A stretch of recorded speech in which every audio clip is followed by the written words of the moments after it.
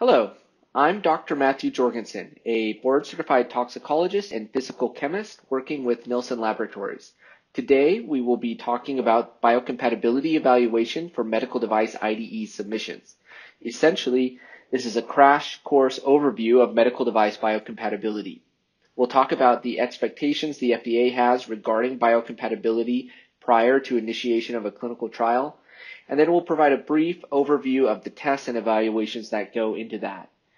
Really, there's so much that we could talk about here. We regularly give seminars on this topic that last several days, and we are going to just condense the highlights of that into a very brief 30 minutes. Before I get too far into that, let me just give you a personal introduction. So, my background is in chemistry. I have a PhD in physical chemistry from the University of Utah, where I focused on photonic nanomaterials the emphasis of my work historically has been in theoretical physics, especially quantum mechanics and, and photonics. And I also have a healthy background of uh, analytical chemistry.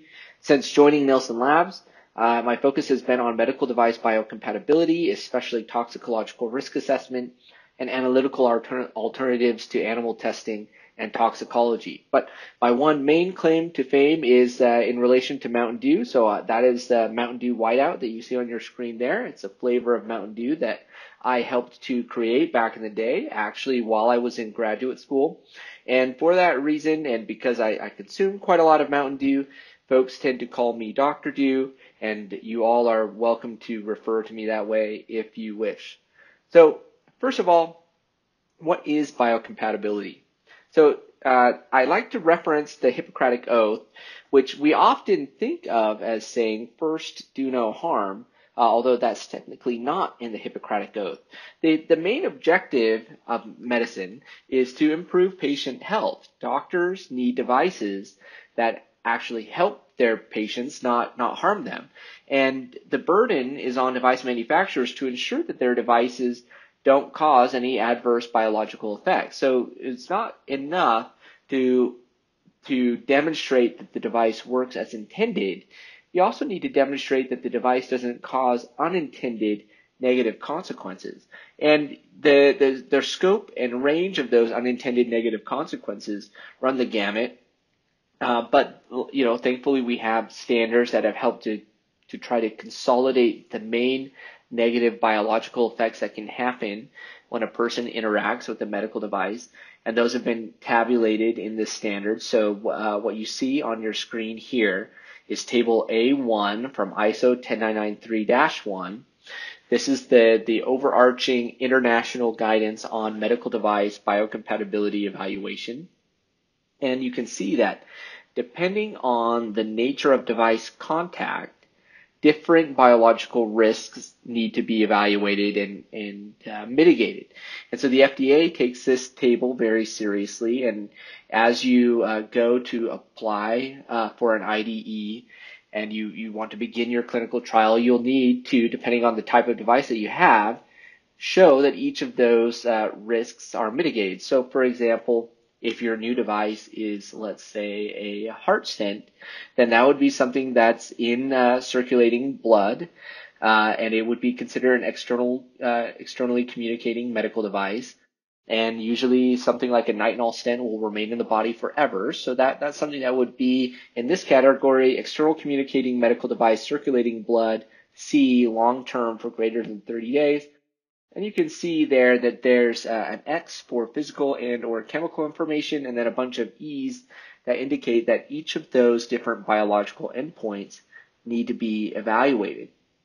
So just to be clear, and I know that, you know, we're just going to go over this really, really quickly, uh, an X is really considered a requirement uh, and it's thought of as a prerequisite to actually performing biological tests that are, that are in that row.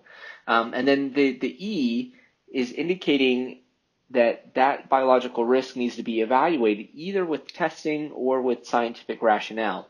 So we shouldn't um, get into the the habit of thinking that at any time that there's a biological risk that that needs to be tested to be evaluated.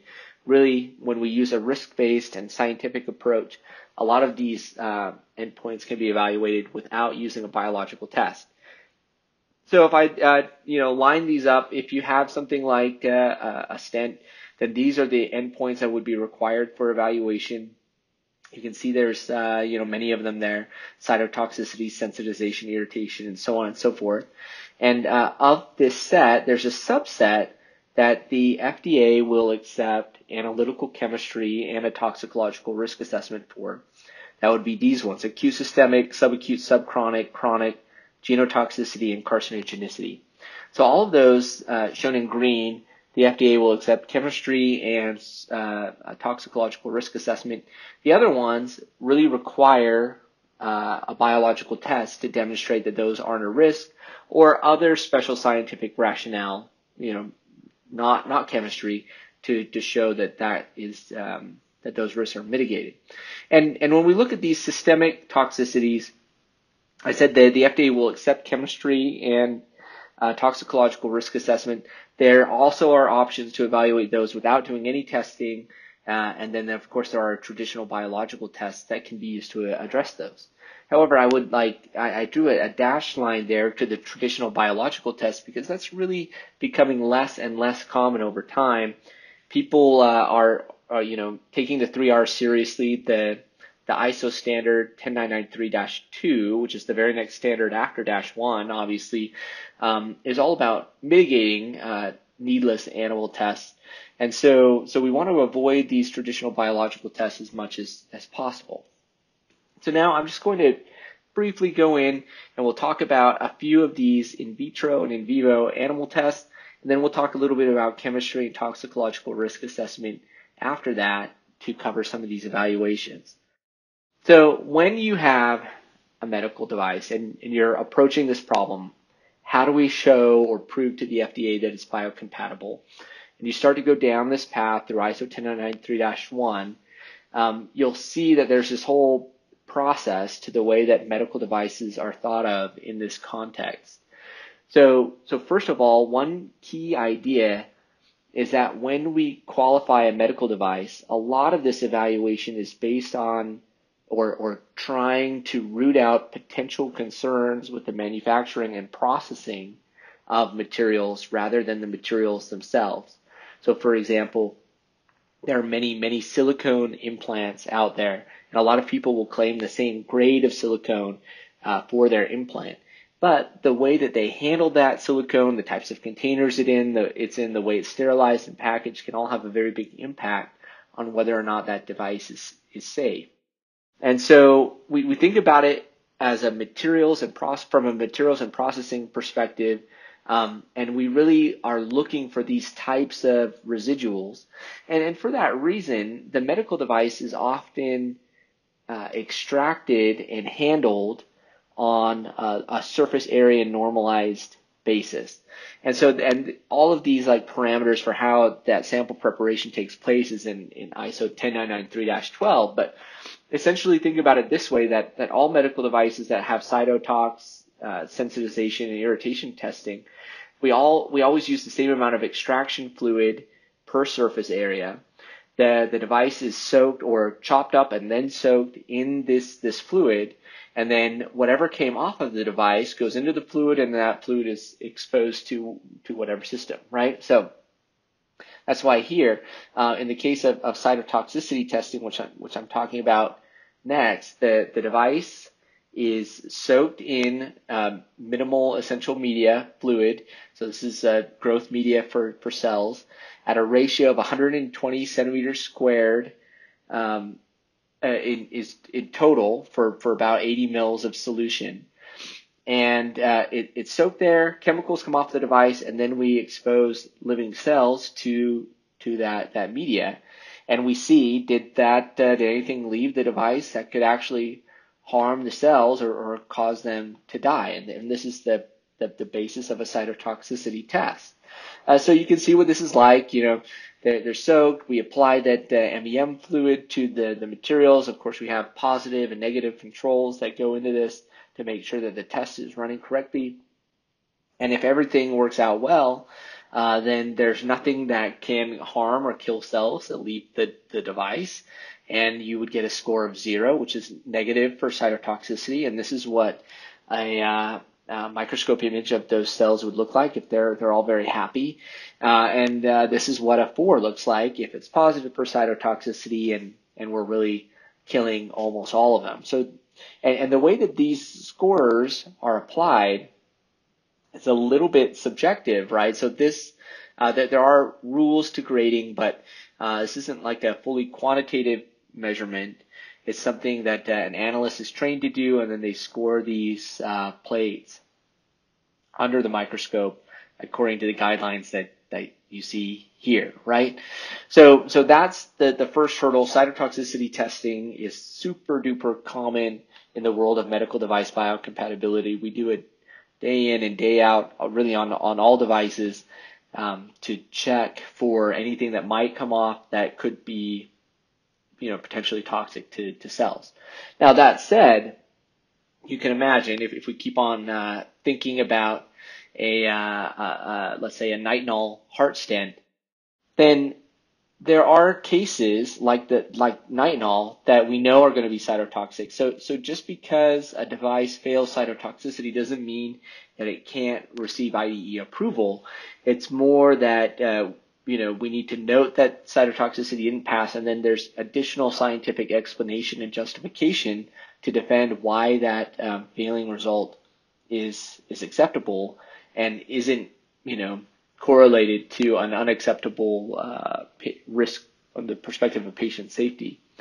Okay, the the other test that's uh, this is a, an in vivo test that basically all medical devices have to, to go through is sensitization tests. So essentially we are soaking the device in, in saline and cottonseed oil and seeing if there's anything that leaves the device that can cause an allergic reaction. There's a couple of different ways that this can be done.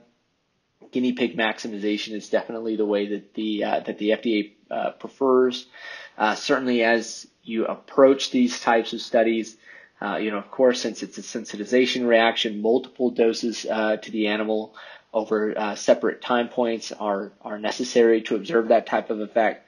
So naturally, this involves some some turnaround time, uh, and and it's often the longest uh, pole in the tent when it comes to to timelines for for devices that um, are more straightforward. So so for non-implant devices. Okay, so uh, another in vivo test that's uh, that's basically always required is, is irritation. So this is primary skin irritation. We are looking to see if there's anything that leaves the device that can cause uh, uh, uh inflammation of the skin. Uh, and depending on where the device will be used, we can we can do this in a site uh, specific manner. The way that the test works is that we extract the device in saline and cottonseed oil 50 degrees C for 72 hours. And then those uh, extracts are, if it's intracutaneous, they're, they're injected into five sites on each animal. We have, of course, samples and controls. And uh, if there's inflammation and redness, then that means that there was an irritant there and uh, the, the, uh, the test would fail. Now, again, so, so cytotoxicity test is a, an in vitro test, super common, uh, and it's also the most likely to, to fail. Uh, so I would say, you know, maybe it fails like one out of 10 times or one out of 100 times. The, um, the sensitization and irritation testing, uh, these are in vivo tests. So in, in uh, guinea pigs and uh, rabbits, and they you know, they are much less likely to fail. It's more like one out of 10,000 times. So it's really rare that we have a sensitization or an irritation reaction that we don't uh, predict or we couldn't have predicted ahead of actually performing the test. So it's good to keep that in mind that, that the, the hurdle to get over is actually usually cytotoxicity testing because it's just so, so sensitive. Sensitization and irritation uh, usually we don't have any surprises there when it comes to these, uh, these types of tests. Okay, so what about all of the rest of those systemic toxicities? And, and now we're going to get to a little bit of chemistry, which is, of course, my uh, my most favorite part, uh, being a chemist myself. And and usually I, I talk about this in the context of, of an actual medical device. So that's what you see here, this uh, this 3D printed uh, Spock hand is intended to be implanted permanently in the body next to the heart so that you can keep the, the memory of Leonard Nimoy with you always. And, and so if you were this Star Trek fan that was going to have this implanted, or if you were the FDA and, you know, you're screening this for a clinical trial and somebody's going to do chemistry to try to understand uh, what could be there that might cause toxicological effects, what would you look for? And, and the answer is that we need to look for anything. Really, this is a type of unbounded chemistry problem where we'll, we'll soak a device in, in a polar, a midpolar, and a nonpolar solution. Usually that's water, isopropanol, and, and hexane. And then we need to screen those extract solutions for anything that could have left. And, and this kind of makes it a special problem. So we're looking for metals that can leave the plastic that, you know, there's catalysts and, and other sorts of additives, you know, production oils and residuals. Plastic uh, has other additives like uh, DHP, plasticizers, or Irganox 1010, these antioxidants and so on. Um, and, and it's like a super wide net looking for, for all of that stuff. You can imagine this is a kind of an involved process to do it uh, correctly. We screen for absolutely as many different things as we can while trying to um, avoid getting caught up in uh, very, very specific subgroups of compounds that are, you know, super challenging to look for. So for example, if we have uh, titanium knee we would do, we would look for all of these compounds that you see there in green, you know, volatiles, semi-volatiles, and so on. Uh, but, but we wouldn't really look for biologics on, you know, coming from the surface of a titanium knee, things like that. Uh, so, so we search for everything. Uh, a key question to this whole problem, and if you are ever faced with this, this issue where you're, you're attempting to do chemistry testing to uh, perform a toxicological risk assessment for a medical device, I, I really strongly suggest that you seek out the, the help and advice of, of an expert as you approach that because there's lots of variables that are really, really important to the FDA. One variable that's super duper important is, is how sensitive this analysis is. So you can imagine it's really easy to say, oh yeah, we screened for everything, but with a, if you didn't use a good sensitivity, that's, it's not that, that, that hard, right? And it's not surprising that you don't find anything if you have not a good sensitivity. So the FDA uh, really requires a specific type of sensitivity. This is based on what we call the threshold of toxicological concern, or TTC. Uh, this is a, a dose-based threshold for which, uh, regardless of what the identity of a chemical is, if it's below the TTC, uh, we would consider it to not not be concerning or or even having the potential of causing uh, cancer at all, right? And and the way that this level was developed was uh, toxicologists took chemicals that were the most nasty and the, the absolutely most toxic, things like positive controls for cancer studies, and they said, okay, well, how safe would it be to be exposed to this positive control for cancer studies? And then they divided that by a big safety factor, like a thousand, you know? And so it's like a super duper duper conservative level, uh, where you say, okay, really, whatever it is, if it's you know below one and a half micrograms per day, we don't care uh, even to look look look lower. And for the for the FDA, this is really a, a good measure of how sensitive a chemistry study should be. So it should be so sensitive that we know that anything that was missed below the threshold of sensitivity wouldn't be concerning. It's, so it makes sense to, to be sensitive down to something like a, a TTC. So you do this chemistry analysis you screen for everything that you can think of, and what you get is this, uh, you know, long big table of results where you have all of these chemical components and how much was uh, leaving the device in terms of micrograms per device or micrograms per device per day. And then the question is, well, what do you do? Uh, how do you interpret that? And uh, the answer is that uh, a toxicologist needs to, inter- you know, take that data, digest it, and uh, the the output is uh, is a toxicological risk assessment where the toxicologist says and, and they sign their name to it this amount of glue component one is uh, is acceptable or you know if you know something's unacceptable then that will be indicated in the toxicological risk assessment as well and, and so um, this leads me to just my my one slide introduction to toxicology and really how this all fits together. So, so the field of toxicology seeks an answer to a fundamental question. How much of a good thing is too much? And I mentioned at the beginning of the presentation, I like to drink a lot of Mountain Dew.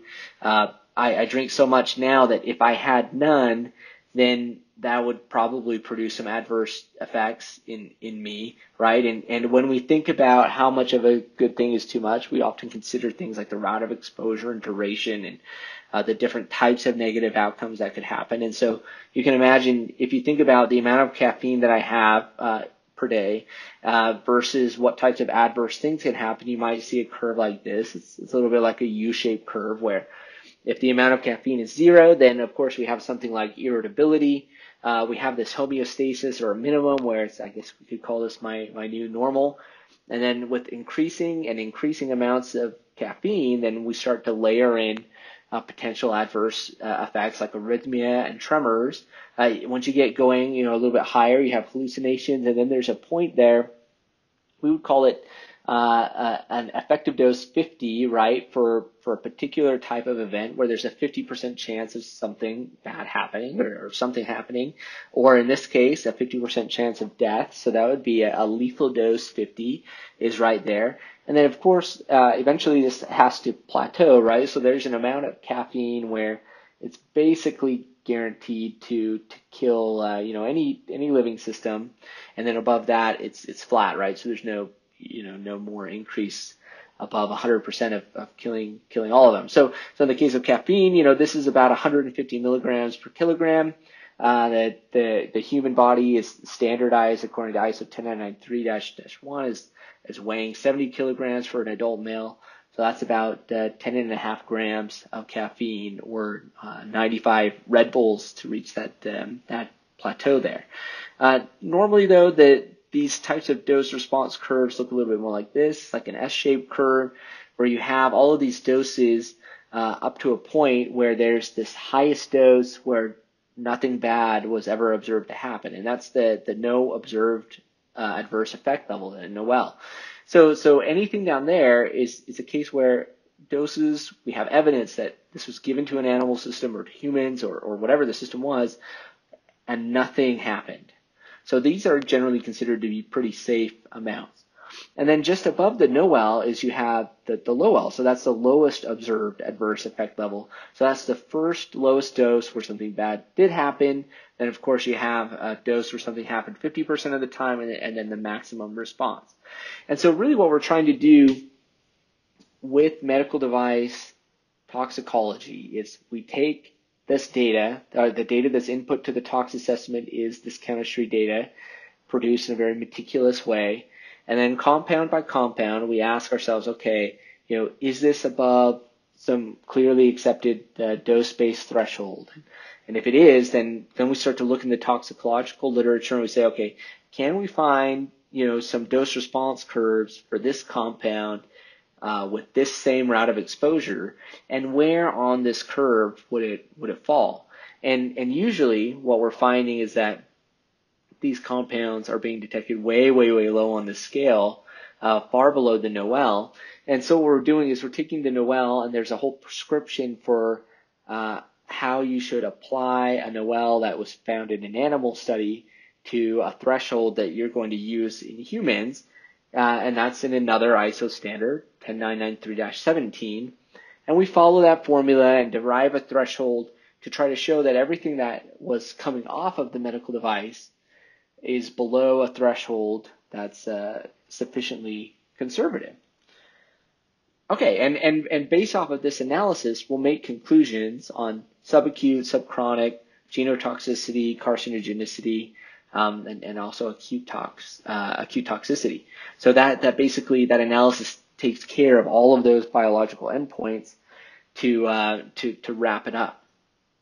Now, I, I want to talk a little bit about the ideal flow for this entire process because there is, uh, I think, truly a, a right way and a, a, less right way to to approach this. So I would say the moment that you know that you're participating, you know, with a device that is intended to go to a clinical trial or also I would say the same um, flow applies if perchance you're contributing or working with a device that's going for clearance through through a different regulatory pathway like a 510K, then then really there there should be a good flow to this to avoid like serious problems down the road, both with the FDA and with the folks that are doing your testing and, and tox assessments and so on. So before this, any of this evaluation should begin, the design of the device should be locked completely and ready to prepare for the submission. So it sounds like a no-brainer, but actually it happens all the time where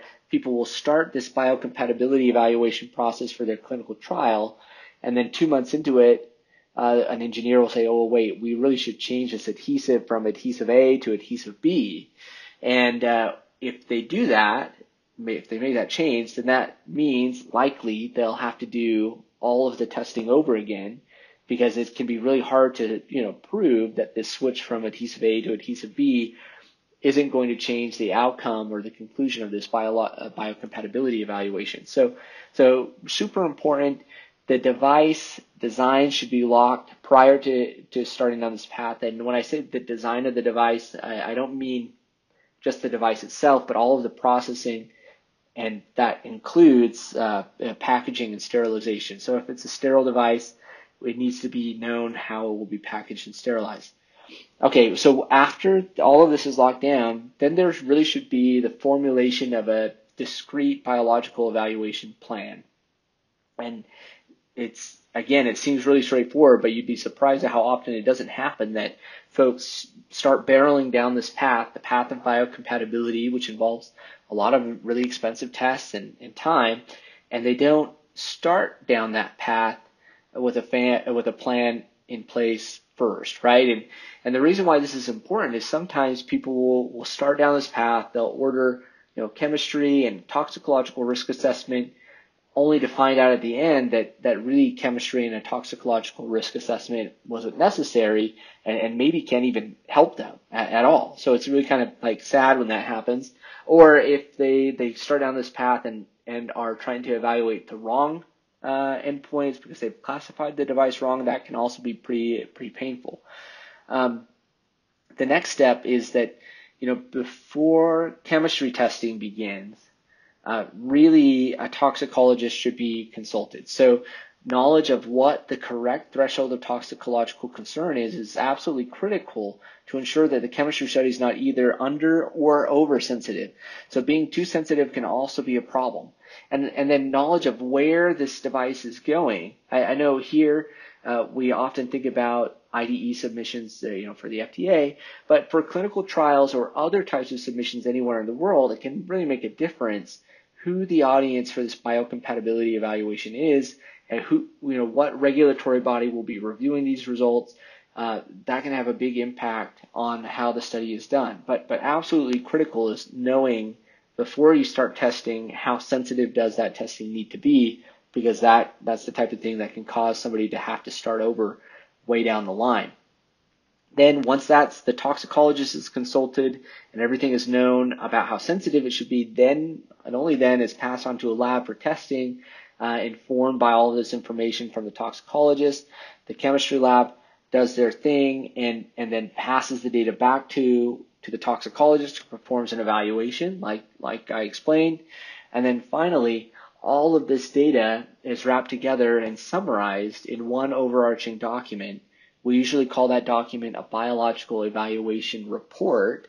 Uh, it just says what the device is, why it's being uh, you know submitted for IDE, and uh, what the biological risks were or, or how they were defined per 10993-1, the outcome of all the tests, and then the, the conclusion that the device is indeed biocompatible and isn't going to cause undue harm to patients when uh, when used as intended.